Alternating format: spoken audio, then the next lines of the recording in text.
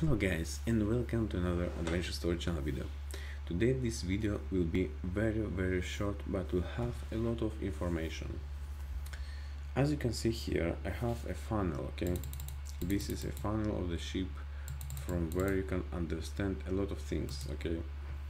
And some things is you will see how your engine is working and perform okay you will see the color of exhaust gases and you will understand how your engine will work okay? It's working better or not.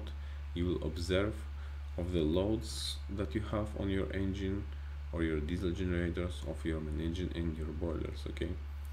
Just guys don't forget to look your exhausts and make your engine better to not pollute the air okay?